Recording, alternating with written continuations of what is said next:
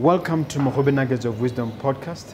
My name is Mompoloki Lerumo Mogobe. Our objective is to enthuse, inspire, energize, and empower entrepreneurs and entrepreneurs of all stripes here in BW and beyond. We do so by inviting these entrepreneurs and entrepreneurs into our makeshift studio.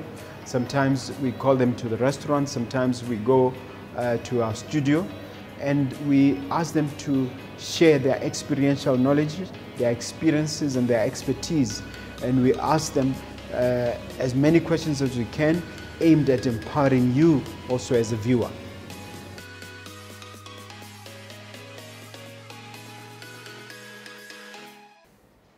Hello, dear viewer, dear listener. My name is Mompoloki Lerumo Mogobe, uh, your host of this exciting and wonderful show, Mogobe Nuggets of Wisdom podcast. As always, I bring you exciting and challenging, you know, uh, guests, and I'm delighted to welcome to the studio Mr. Letlhogonolo Moremi, who is an intellectual property consultant. Today, we're going to talk about the intersection of intellectual property and development. We're going to talk about all things intellectual property. Uh, Mr. Moremi, I would really like for you to introduce yourself, tell the viewer who you are, and a little bit of your background. Right. Um, my name is Letlhogonolo Moremi. I'm an intellectual property consultant, as you have mentioned. Um, I am the founder of um, Park Grey IP, which is a, an intellectual property consultancy um, based in Botswana. And I'm also a practicing creative development practitioner. Um, I work with a friend of mine on a company called MG Art and Creative Development. I also work with uh, another friend on a company called DM Creative Brands, where we do brand management and PR. Okay, tell me about Park Grey IP. What is that about? Uh, Park Grey IP is an intellectual property and entertainment law consultancy. Uh, what we basically do is um, it was born from the foundation of uh, trying to help Botswana or help the African continent generally uh, move towards an economy where uh, the young people on the continent can be able to create, to be the source of change or to be the source of economic change. Because I always talk about how uh, the African continent has the youngest population by age. Um, the, young, the African continent has the biggest demographic of young innovators, and there is no reason why those young minds, those young innovators, cannot be a catalyst towards providing solutions for challenges now and in the future.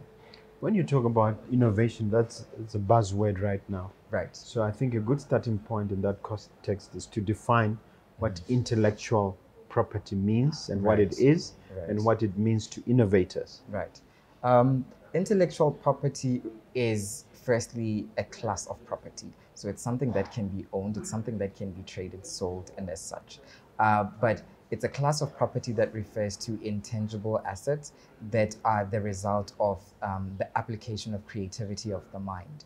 Um, I think most commonly when we talk about things like music, when we talk about things like art, those are the more the more readily understood forms of intellectual property. But it goes beyond that. It goes into areas of uh, brands. Um, a brand can be a piece of intellectual property.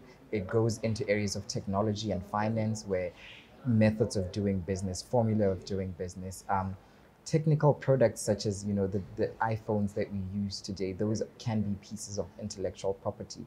Um, so that's what we mean when we say intellectual property. It's what the mind has created. Okay. Um, I'm glad that I'm talking to a colleague. You're a lawyer like me. I see. Um, but what I'm curious about is how why why did you decide to specialize and focus right. on on intellectual property? Right. There could be any other field that you could be focused on if you wanted. Yeah, absolutely, it could have been. Yeah. Uh, but I think for me, it, it was a confluence of many factors. Uh, firstly, I individually am a person who has always been creative in one way or another. Whether it's in science class doing experiments, um, trying to, I, I remember I was 10 years old trying to build a robot by taking my toys apart and putting them back together. Oh. It didn't work out too well. Yeah. Um, but you know, I, also in terms of the arts, I've been a writer myself. I've been a poet. So creativity in every aspect of life has always been very important to me. Um, and then the course of advocacy as well, which set a very clear path for me to be a law student, to study law. Um, and then it became a merger of these two things where it's this creative individual who has a passion for this area of commerce, which is the law, and it was a sensible meeting point for me. But again, another factor was how best can I serve my community? How best can I serve my continent? And I believe that by empowering young people, entrepreneurs, and innovators to be in a position where their ideas and their products can produce economic value and sustainable economic value at that, if I can contribute to that, uh, I think there is a change that I will be making um, in my own country and in the continent. That's wonderful. Um, let's talk about the Botswana Intellectual Property Framework. Right. What pieces of legislation are in place and how does it really work, practically speaking? Right. Um, the, there are two primary pieces of legislation that regulate intellectual property. Um, and these are the Copyright and Neighboring Rights Act and the Industrial Property Act. Um, the Copyright and Neighboring Rights Act deals with artistic and literary works. Uh, so those would be the music, the paintings, the art, the books, the writings. Um, so it deals with an area of law known as copyright, which applies to those things. And then the Industrial Property Act deals with, well, industrial property in the sense that they, it's a type of intellectual property whose main focus is commercial application. So these will be your trademarks, this will be your patents. And an interesting thing also is that it provides for uh, protection for uh, traditional and indigenous knowledge. Um, so again, it goes back to Even medicines. even medicines can be put, even traditional medicines, Mhm. interestingly enough. Yeah. Uh, so those are things that um, can have some so, some aspect of commercial application, and therefore um, are protected in the business sense um, as business assets and as you know things in the area of commerce. What would you say are the key provisions on those pieces of legislation? Right. The key centerpiece uh, clauses, if you like, or, Right. or sections? Right. Um, without mentioning any in particular, but I think with the Industrial Property Act, the need the provisions that deal with registration, because for you to protect a piece of industrial property and for it to be afforded um, that protection, whether it's a trademark, whether it's a patent, it has to be registered as such. If it's not registered as such, um, it does not necessarily receive that protection. Um, and therefore, so the one of the challenges that I find in my practice is people who find themselves with a very good, brilliant product, but they haven't com- complied with the legal requirements for what this, uh, how this can be protected. It needs to be assessed for registration. It, it needs to pass the registrability test, and then it needs to be registered. So if they haven't gone through those processes, you find that somebody could have had a patent for a very brilliant technical solution that would have benefited the country, but they did not take the right steps to make sure that this is protected. And because they did not do that, then it it it The wastes ideas can be quote unquote stolen, basically. of course, of course, that's another thing as well. Um, how do you protect other people from using what is your idea? Um, so that the key provisions for me are knowing what um, you know the, the registration and the re- registration requirements for each piece of intellectual property, and then also when it comes to copyright, knowing that um, who belong what belongs to who. Um, a lot of people have questions about um, if I hire maybe a, a, photographer, for example, and I ask them to do this and they put a watermark on my picture, doesn't the picture belong to me? Why is there a watermark there? And oftentimes I have to explain, well, ownership belongs to the creator, of course. Um, but if it's a commissioned work, ownership belongs to the person who commissioned it. But doesn't that doesn't take away the right of the creator to be credited for their work, which may mean putting a watermark on their work. Uh, so it's those little Does it matter whether or not you've paid? Not necessarily, because the right to be acknowledged as the creator of work is exists independently outside the scope of economic rights. Uh, so when it comes to copyrights, there are economic rights and there are moral rights. Economic rights deal with the right to reproduce, the right to you know, to adapt, the right to sell.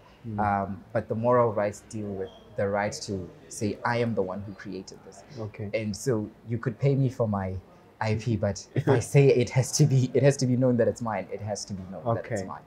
Yeah. Now let's talk about the international framework. Obviously, there are conventions. Absolutely. Um, one, one comes to mind, I think, is the Berne Convention on, on intellectual property. Absolutely. I do not know whether Botswana has acceded to all of them. Absolutely. Uh, can you give the viewer an idea as to the international framework? Right. It's one thing to have protection in Botswana, Right. but what are the implications internationally? Internationally. Absolutely. Um, Botswana has um, acceded to the, the Berne Convention. There's also the Madrid Convention that deals with uh, patents, uh, uh, rather trademarks. And then there's the Patent Cooperation Treaty, uh, which deals with uh, patents. And Botswana is a member of all of these. Uh, these international instruments. Botswana is also a member of the overarching body, which is the World Intellectual Property Organization, uh, also a member of the African Regional uh, Intellectual Property Organization.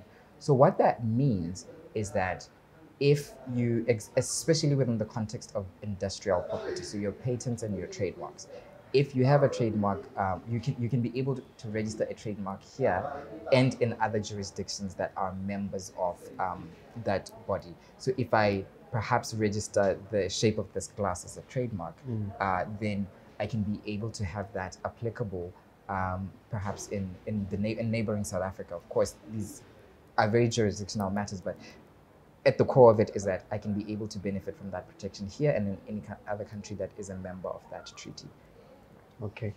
Now we want to apply this to entrepreneurs. You know the importance of intellectual property to innovators and entrepreneurs, and even SMMEs. So for us to um, let me lay a groundwork for that that that sort of discussion by asking um, what the process is like uh, for an entrepreneur. For instance, let's say I've invented this spoon for argument's sake Right. what are the protocols and procedures that I have to undergo, and how long does it take? Absolutely. Um, so, if you can answer that question and then see how it tailors into explaining about the framework for entrepreneurs. Right. Um, I think it, it, it, it depends on what you have created. A lot of um, inquiries that I get, often somebody saying, um, I would like to patent my brand. And then you have to explain that you can trademark a brand but not patent it. So the first step is to know what it is that you have created and what is the protection that is applicable to what you have created. Um, if you Then I maybe have to interrupt you that to define the difference. A copyright, a trademark, and Right. what's the other one? A patent. A patent. Right. Maybe you need to just define those quickly before we move forward. Absolutely. So copyright would be protections that apply to artistic and literary works, as I've mentioned. Uh, so your books, your paintings, your music, your films, that sort of thing. Um, and then trademarks would apply to brands, logos, uh, slogans, anything that you can use to distinguish your business from the next person. So it- the purpose of a trademark is to be able to say this uh, product, this business, this service belongs to X person. Does it even include the names of companies? It includes the names of companies. It includes the name, the the brand. slogan, the whatever. For example, you know, if you look at a certain bottle, there's a certain company that sells um, soda, uh, fizzy drinks. They have a certain bottle that looks a certain way that whenever you see it, you know it's their product. Something like that can be trademarked. Um, and then when you deal with patents, patents deal with more technical know-how and technical solutions. Uh, so it would be your machines, it would be your processes of doing something or your processes of producing something, largely applicable to medicines and things like that. Um, so then there are lesser protections under there, which in, can go uh, can include uh, industrial designs. Uh, so industrial designs dealing more with um, the aesthetic of how something looks. Yeah. Uh, so if I designed this table and I want it, I've designed it in a special shape in a special way. I could, I may not be able to patent that, but I may be able to have an industrial design registered for that. Um, and also utility models, which are which deal with more the function of things, the, the, the functional aspect of things. Um, so then, knowing what, what you have created and where it falls within that spectrum, then the next step would be to determine what steps are needed uh, within that particular process, right? For for a trademark in Botswana, uh, what you do is, of course, you you file an application with CIPA, you produce reproductions of the trademark, um, and the process could take anything from about five months to a year, I believe. How on- tedious or user friendly is the process? Depending on which point of view you take. I think it, it depends also on what you are registering. I think things like trademarks are fairly easy to register, Mm. uh, but things like patents are the process is very intensive. Um, so it it can take even up to three years because there is so much information that you have to make available to the register to the registering authority.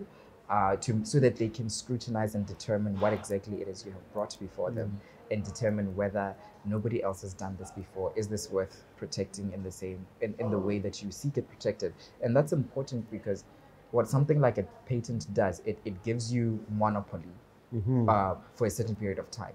So perhaps for 25 years, you are the only person who can use this method or this formula to produce a certain result. So it's a process that needs to be intensely scrutinized. Mm. Um, so that that can be a very tedious and very lengthy process. From the point of view of the consultant or the lawyer, or from the point of view of the entrepreneur, or all the entire team. I, I think from the point of the entrepreneur, especially, uh, because they ordinarily would not expect something like that to take so long. Mm. Um, but from the point of those of us behind the scenes who know how these things work, we understand there's so much scrutiny that goes into it. So it's it's a lengthy process, but it's not a tedious process. Okay. But for a client, it may be a very tedious process. Okay.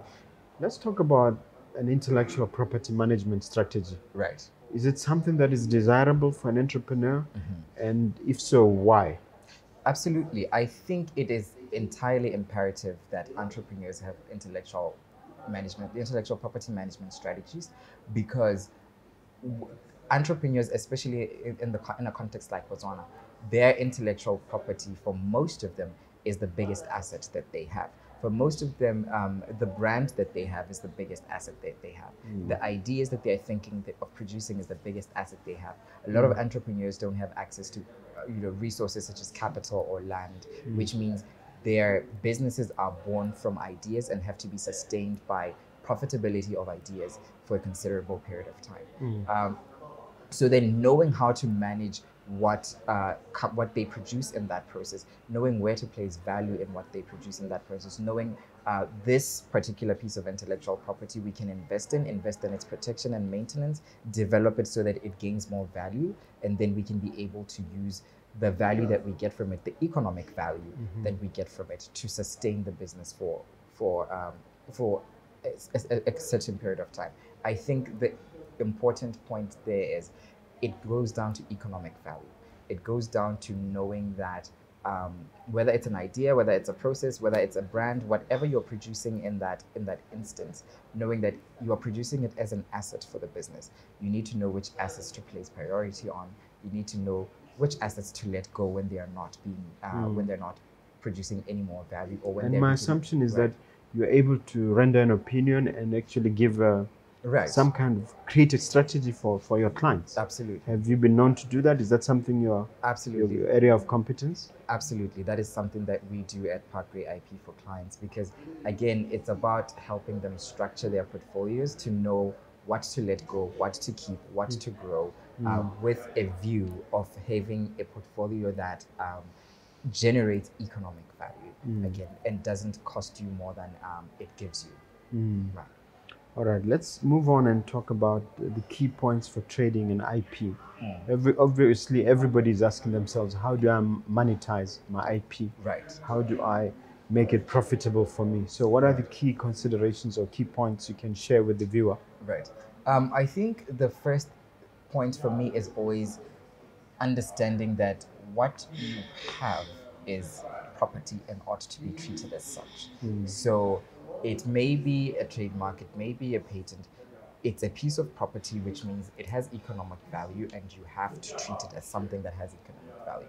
Secondly, um, of course, there are you know laws and regulations around um, you know intellectual property and how it can be treated as, as such but the biggest con- the biggest uh, consideration is this is always a contractual matter knowing where what you're offering knowing um, where you stand contractually is very very important uh, because it all boils down to the agreement between you and the buyer. Thirdly it's important to know the value of what you have. And there are ways of valuing different pieces of intellectual property. Um, there's in a transaction, are you selling at uh, what is known as fair price or are you selling at what is known as market price? Fair price being, uh, Mr. Mogobe says, um, you have a glass, I want to buy it for five pula. And I said, "Okay, five pula is fair enough. So it's an agreement between the two of us. Yes. Right? Five you or you're offering five pula, I have five pula. Mm. It- it's, it's fine. Yeah, straightforward. That's fine. and then um, the market value being, okay, Mr. Mogobe says he wants to buy this glass for five pula, but when you look at the market, this glass goes for 10. So where then we know, are we establishing the value based on what you're offering and what I'm willing to take, or are we establishing the value based on what other similar transactions look like? Um, and there are many other factors to consider as well. When you, especially when you're acquiring a piece of intellectual property, whether it's a, I know a, there's a lot of people that are taking up franchises now. Uh, a lot of people that are ta- taking licenses to use certain names, certain brands for business.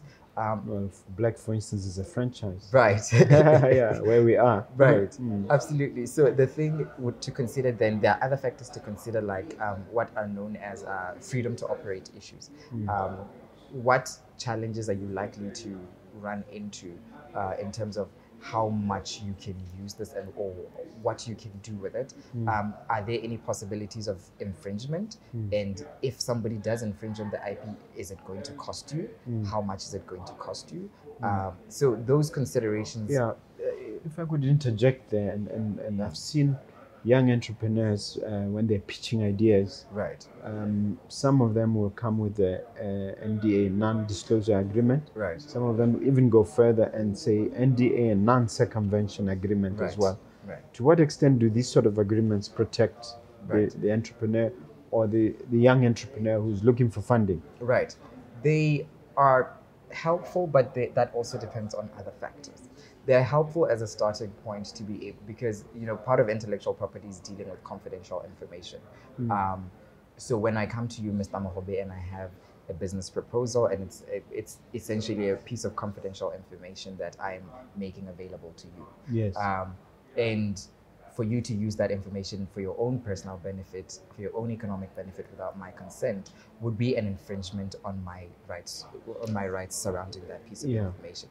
What those instruments do is they create a contractual agreement to abide by the rules of confidential information. Mm. Now, the challenge, where, the reason why I'm saying it depends on other factors is if Mr. Mogobe in fact goes ahead and breaches that agreement, Mm. what am I able to do about it? Mm. Right. I am able to I am able to prove that yes, at this point in time, I made available said piece of information to him, and he agreed to not do one, two, three. So he's in breach of contract. However, do I have the resources to pursue Mm. a legal resolution? Mm. Right. So as Which much entails bringing an application to court and seeking an interdict. absolutely seeking an interdict or in other maybe seeking damages or whatever remedy you may seek. Mm. But it also takes the entrepreneur having resource to do that, or having access to a legal professional who can be able to implement, uh, to sort of implement that Mm. strategy for, for, for him. Again, it's a it's a good thing to have, and I always advise clients to have that. Mm. Um, but I also advise clients to not enter into it thinking it's a wall that nobody can jump over. Mm. Uh, you must be ready for the instance that somebody actually does get over the wall and Mm. have your dogs. And ready. it is it's a two-way street as well. I mean, once you sign them, it might limit your ability to find an even better absolutely, investor later on in the absolutely, process. Okay. absolutely. Um, let's talk about IP and the creative economy. That's the direction we're taking. Everybody will tell you that we're moving from, um, you know, a normal economy. We're moving now into a gig economy. Right. So, given this, uh, how would you advise entrepreneurs to adapt Mhm. and to innovate? Mhm. And what skill sets do you bring to the table to assist the entrepreneur in that regard? Absolutely. Mm. Um, I think the, the genesis for me would be understanding that um, I know there's been a lot of talk around, you know, in this country uh, about moving to a knowledge-based economy, Mm. um, and a creative economy is basically just just another way of, of saying that because a creative economy is an economic framework that thrives on the production of production of innovation and solutions. Um, so it relies on intellectual labor, which means intellectual property is the biggest asset that is trading in that economy. Mm. Um, it's the ideas and the solutions that people come up with. Um, so then, in in that sort of understanding, it's for entrepreneurs to put themselves in a position where they are able to become economic players. Mm. Um, I'm putting it in that way because a challenge that we have is solutions innovations are not necessarily people create them out of passion mostly but Mm. don't create them for an economic purpose and that creates a challenge in building an economy around that Mm. because there is not enough emphasis that is placed on business practice there is not enough practice that is placed on learning the business uh, and treating the process as a business process as opposed to a personal venture out of interest or or the like Mm. um, and I think with our intellectual property practice, what we do is we are able to help entrepreneurs understand their entry point into this economy, Mm. um, the value of what they're bringing into this economy, the things they need to look out for, and the protections that are available for them in this economy, and how to use how to take advantage of the existing frameworks uh, to be able to protect their interests as economic players in a, in a creative economy. Mm. I suppose this could be a, a good point to ask you about your curatorship of the um, Johnnie Walker and and other. Right. Uh, to tell the viewer what that is all about because it's a very interesting thing when I read your bio that I picked on. yes. Uh, so with the company uh, DM Creative Brands, um, what we do is brand management and PR. That includes uh, uh, sort of building narratives around products for clients and uh, also positioning uh, a product, uh, positioning products for clients in the market. And um, the brands that you just mentioned, they were launching a new product in, Yeah. the country, and they needed access to a new sort of buyer.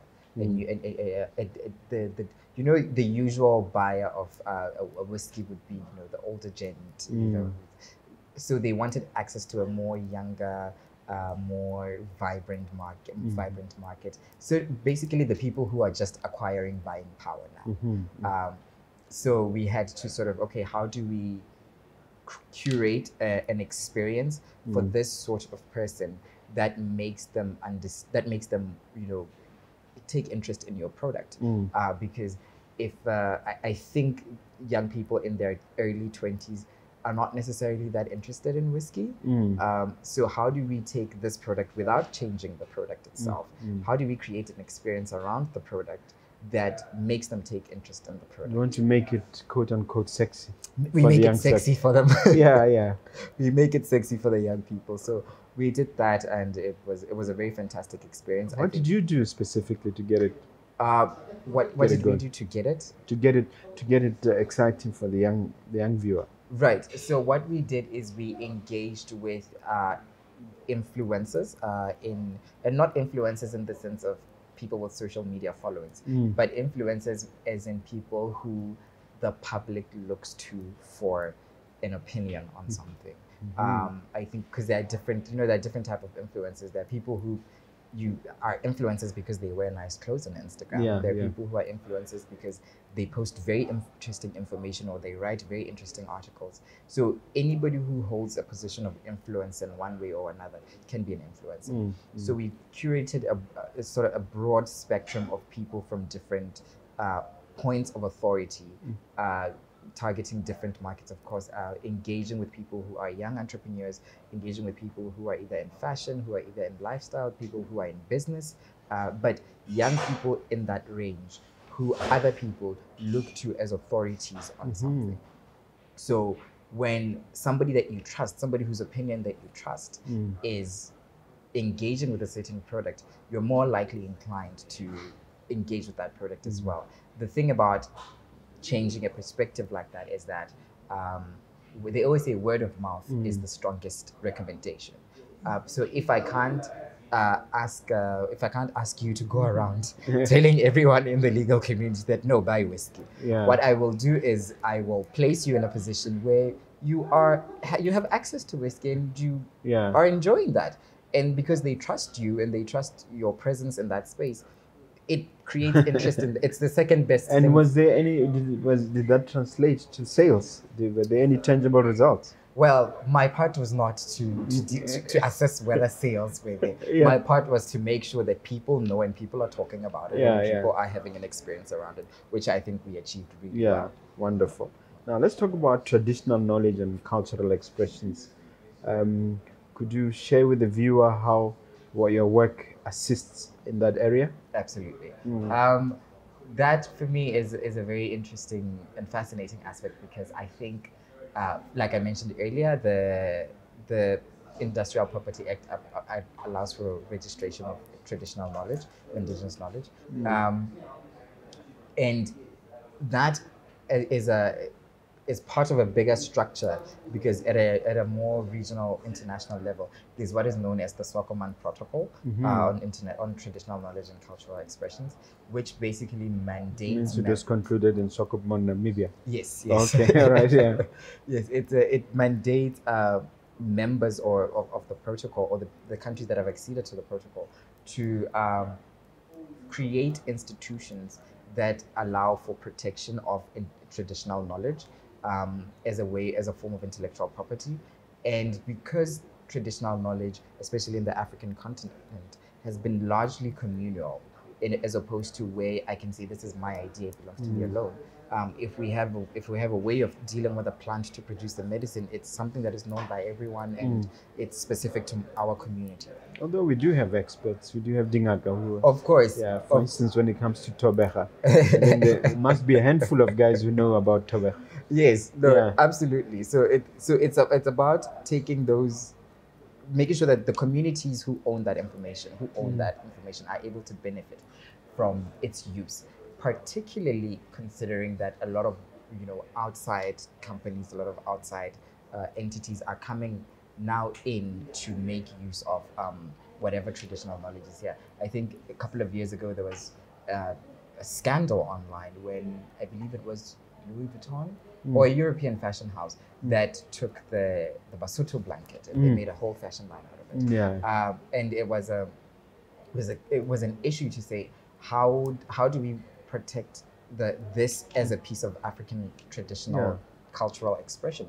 And there was also a lot of talk about the the Sengaparile Yeah, of, of yeah. how Western companies are coming Yeah. here taking that Germans, yeah. as And I read somewhere that even the Kgotla system, somebody has injected themselves, uh, has registered something to claim the Uh, Kgotla system, the system of Absolutely. dispute resolution. Absolutely. There's a there's a trademark registered in Denmark of all places Called- called Lekgotla. Yeah. Yes, so it's, it's a, Yeah. but that's an issue for another day. I, I would want to hear from you how we should fight things like this. I- Is there anything we can do to get our our, our rights back? um, I, I, that's something that I personally am currently looking into because um, the I mean, when you register a trademark, it, it's a it's a matter of is it is it non-descriptive of what you know what because you can't trademark glass. Let's Mm, say no, you can't. glass. You can't No. do, you can't Mm. say that. But uh, but also it's it's a matter of ethically when you do something like that and you place power to use something like that outside of the context of the people who it belongs to what Mm. does that mean so that i see you know there are a lot of people who are concerned about that and i personally am one of them Mm. and that's something that i'm privately looking into but i will share more Yeah. uh, it, But have you personally been able to register any cultural expression or or you know traditional knowledge, or do you know someone who has successfully done it? Um, I do not. Know I do not personally know of people who have successfully done it, but I do know that, that there are people who have done that. Mm. Uh, I do. The challenge then is usually um, it has to be um, it has to be because it's a communal thing. Mm. The communities do not yet have enough information to say this belongs to a community, so let's register it as a community. Usually, what would happen would be me saying, "No, I know how to do this, and I know I want to own it for myself." But it's traditional knowledge. I, if it's something that belongs to a community, I can't take ownership Yeah, of it no, for myself. Yeah. Yes. So I think more education along the way is needed. All right. Um, let's talk about the role of IP, intellectual property, in resolving you know global conflicts. Right. Um, what role does it play, and Mm-hmm. have you personally been a part of such efforts? I am part of a network of in, uh, uh, intellectual property practitioners around the world, and um, what the network largely what it does is to facilitate um, the trading of intellectual property assets and the protection of intellectual property assets between practitioners um, in different parts of the world. So if there's somebody in the US who would like to seek protection for a certain thing in Botswana, they know that oh, there's people in Botswana that we can talk to who are more familiar with the system. Same way, if a Botswana wants protection for something in Denmark, uh, they know there's somebody, there's a network that we are part of that can facilitate that.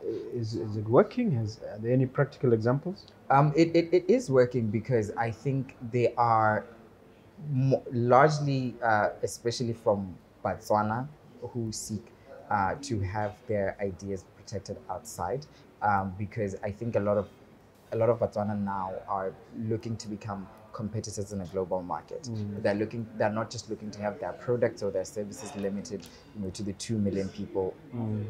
two million people in, in this country, they're mm. looking to expand more. And the need, when, when once they step outside the borders, they need to know that whatever they are trading in is protected. They need to know that they're not going to run into any IP conflicts down the line. They need to know that they're not going to find themselves in a situation there where they're possibly infringing on somebody's uh, on somebody's intellectual property rights. Which Um, makes me wonder whether it's important to register in individual countries or for as long as a country has acceded to a convention or Right. something, there's automatic protection. it's it's not necessarily automatic, um, but it's it's it's a pro, it's made simple by the accession in the sense that if I'm applying to register a patent, uh, I think in my declaration I have to specify the countries that I would like to register that patent in, and because there is a cost for registering um, in those countries, there's I also need to be it also needs to be a business consideration of where is this trademark going to be used? Practically where am i going to use it? Yes. if I'm going to register it in Namibia and have to maintain it um, as, a, as a piece of IP in Namibia when I don't have any business in Namibia, it's a cost to the business and it's not worth doing Yeah. it that way. And when you say cost, the costs in this regard can be substantial. Are we talking? Uh, It are we talking five figures, six figures, seven figures? not, not, not necessarily. Yeah. Not necessarily. But again, these are matters that are very jurisdictional. Uh, Mm. it depends. I mean, in Botswana, I believe it's fairly, fairly cheap to, to maintain uh, a piece of IP. But, you know, in other jurisdictions, it, it takes some Mm. investment to do that. Um, so if I'm going to, for example, you know, try to maintain a trademark in South Africa, Mm. uh, in Botswana and South Africa, in Botswana it would be fairly easy to maintain it, but in the next country it may not be so. Yeah, a conversation like this would not be complete without us talking about COVID 19. We're in the midst of it. Absolutely. Botswana, thankfully, maybe things are c- coming down a bit. Maybe South Africa, Yeah. talking about loosening borders. Yeah. But certainly places like America, Right. you know, there's a spike and things like that. So let's talk about the COVID 19 economy and IP and the role it plays. Can you talk about the dynamic that is at play there? Absolutely. Um, one of the things that COVID 19 has done is to create a shift in what assets can do and what type of assets can do. I think for a lot of you know multinational corporations over the the COVID over, over the course of the pandemic, a lot of companies, not even multinationals, just companies generally, have found that their the more traditional assets, uh, you know, land capital and such, are very vulnerable to changes in the in the in the global economic, you know, setup. Uh, so thing, and then there are things like intellectual property, which tend to be more resistant to. Um, they tend to be more resistant to those fluctuations, mm. and also they tend to they are growing now more in value than um, the more traditional assets. I always give mm. example of you know one of the biggest taxi companies, Uber, mm. practically doesn't own any cars. No, it doesn't. But but it's the IP behind it of saying we can monetize this by using other Through the app. on the, on the app, right? Yeah. So ideas a lot ideas are becoming more valuable than tangible assets, and I think um, over time. As we shift again towards an economy that is based on creation and provision of solutions, um, th- that that's an I think COVID nineteen accelerated that process towards that shift, uh, and so I believe that IP is going to play an even bigger role as um, as we recover and move forward from the from the pandemic. Okay. If you could cast your mind forward, you know, maybe the next five to 10 years and talk to us about the challenges Right. um, relating to IP development, um, what would you what would you touch on? Um, you know, uh, the development of IP itself can be a very expensive process. It can be a very resource intensive process. Um, so the challenge is, you know, in developing the IP itself, you would you know there's need to access like to things like funding, um, but I I think a lot of companies, a lot of banks, a lot of governments the world over are beginning to realize that and are beginning to allow the collateralization of IP. Uh, so basically, using your IP as security, I'm able to say I'm going to produce this medicine, uh, but I need money to do the research to produce it. Uh, so I, I mean, can, banks can bond IT. right. You So can have register um, some kind of mortgage against. absolutely. So against the future earnings of that particular And is it something that your firm does also? Well, now because I we are in a country that does not uh, that is that is only starting to do that. I think only a couple of weeks ago uh, there was an announcement about collateralization of IP, but it is something that we are. It's a capacity that we're looking towards. Uh, you know, making ourselves competent in and being able to provide that as a, as a solution. And I think also the other challenge with IP development is that uh, the practice of producing solutions, innovations, creations evolves faster than the legal frameworks that govern it. Uh, so there's a you know there's new technology every day. There's new ways of doing business every day. It's about you know the legislators being on being as apprised as they are uh, and just trying to be to stay as close to the actual economic reality as possible.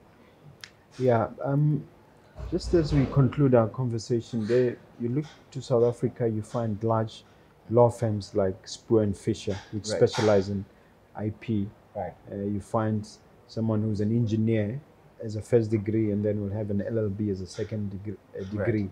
And having those people uh, in large numbers um, and where there's a strong IP culture. Right. Do you see Botswana heading that direction? Is it getting to a point where we'll have IP professionals such as yourself Yes. uh, proliferating the landscape and, and, and providing these services? I, I, I believe so. I believe so. I, I think um, I, I'm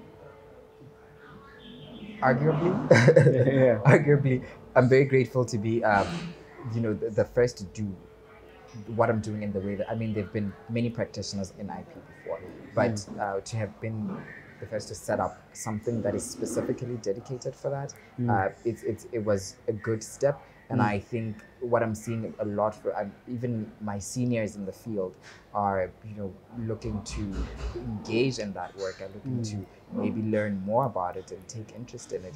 And the younger ones coming up as well are looking to, you know, they're starting to see it as a viable way of practice. So I, I do think in the, it won't take long, and just the next couple of years, there will be many of us around.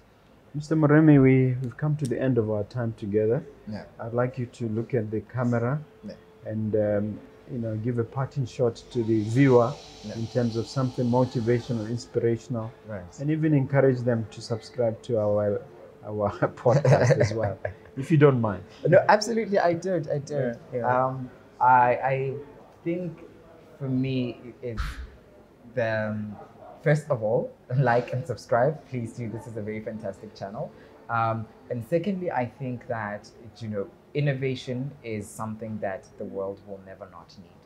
For every day that for every day that human beings are alive on this planet, there will always be a challenge and there will always be a need for somebody to provide a solution. And I think each one of us, we are solution providers in our own ways. Um, it doesn't have to be you figuring out what the next penicillin is. It's about you looking at your community and figuring out what change needs to happen in your community. And you can be a solution provider. And together, when we all provide solutions, we build a better continent for ourselves and you and for the next generation as well. Thank you. Um, do you mind also sharing your contact details? Absolutely not.